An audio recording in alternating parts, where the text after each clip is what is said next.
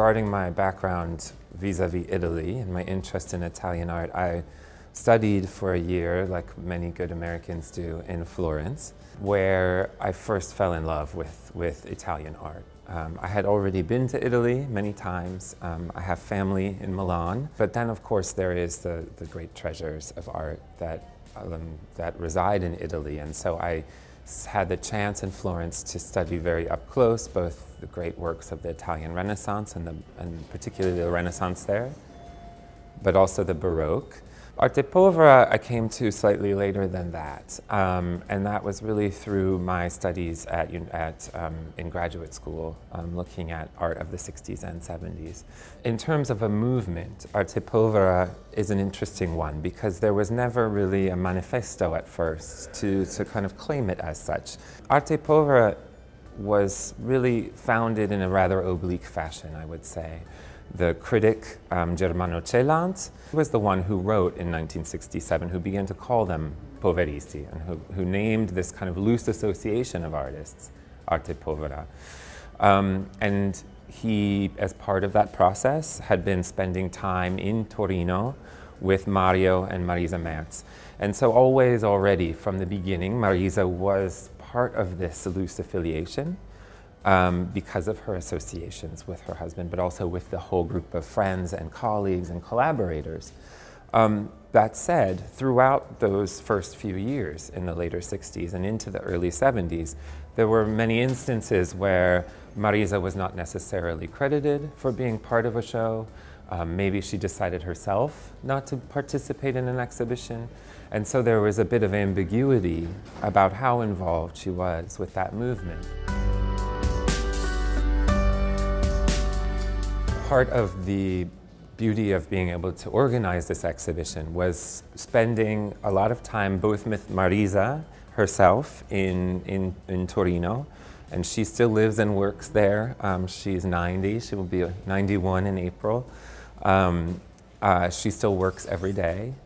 And so th with, through many conversations between me and Connie Butler, my co-curator from Los Angeles on this exhibition, and also Beatrice Merz, Marisa's daughter, um, who runs the Fondazione Merz now in Turin. The collaboration with the artist and with her daughter, um, and also I should say Mariano Boggia, who has been Mario and Marisa's very long time studio assistant. All of those collaborations were really important to bringing this show together. Um, Beatrice and Mariano were both here for the installation. Marisa no longer travels, um, as she said to us.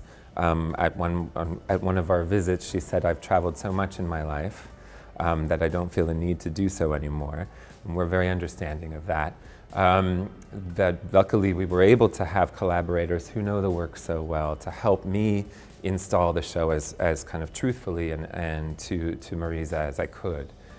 And the challenge was very much to, because this is the first US retrospective for this amazingly important artist, um, to represent the work for an audience here in the United States that may not know it at all. And so to try and give a chronological scope, a kind of biographical arc to the picture um, of the work, but also to stay true to really Marisa's practice, which is to make work that is that she never likes to date or even sometimes title. So how do you represent this work that kind of overlays itself, where pieces of the installation are taken from older works um, and added on to newer works, and the work is always kind of ever present and ever being remade. How do you put that into a chronology that the public can understand? And the title for the exhibition, Marisa Merz, The Sky is a Great Place, comes from another aspect of the practice, which is one of writing.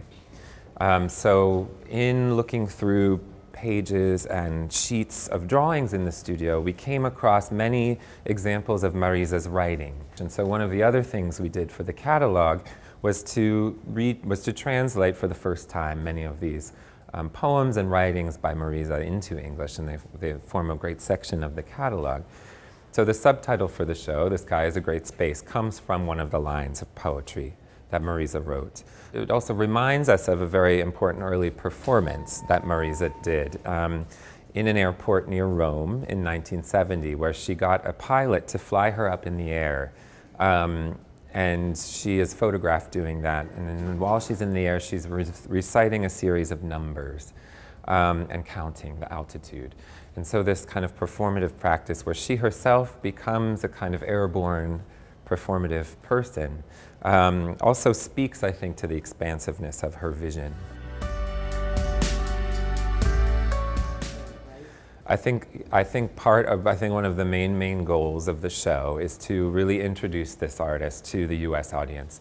And we're very lucky that we can do that here in New York and then also in Los Angeles where the exhibition will travel in June. And so two very important cities in the US for art, um, Los Angeles and New York. Places where, of course, Marisa has exhibited before, more perhaps in New York than Los Angeles, but very few and far between. Um, the exhibition includes uh, 50 years of work, basically, yeah, exactly. Um, and it includes everything from works like these that I stand in front of made out of aluminum from very early in the career, other experiments from those years um, uh, that use hemp or chicken wire or wood. Um, then in the 1970s, she begins to mold uh, the testine, the, the heads, out of, out of clay. There's also, of course, her, two of her uh, fountains, which are very beautiful. So there's a, a, an enormous range of materials. Now she's using spray paint in a fantastic way, and so you have this very diminutive but forceful woman um, climb, climbing on top of her platform that she uses in the studio to spray these beautiful drawings on very large pieces of hand-laid paper. Um, that was represent the most recent works in the show to get a full kind of scope of the career, um, all kinds of works in media, in, in all these various media.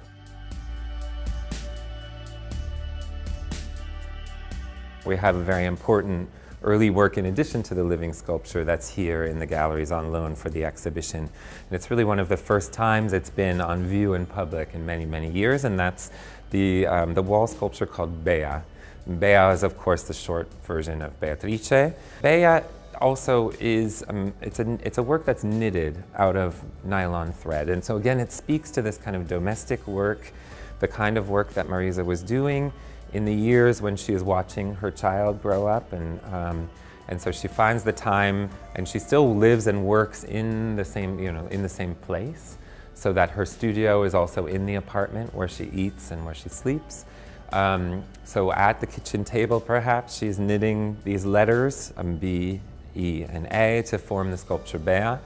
And she leaves the needles there lodged in the work so the viewer sees the mode in which they were made.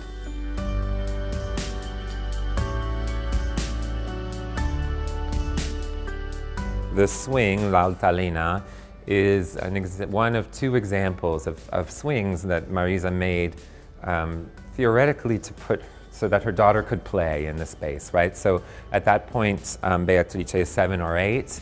Um, when I first was looking at the work, I was thinking of putting a baby on that. It doesn't seem very possible, but of course, Bea is a little older than that. But it speaks to this interest in the kind of playfulness with space, but also using architecture as a way to determine um, the way her work is viewed.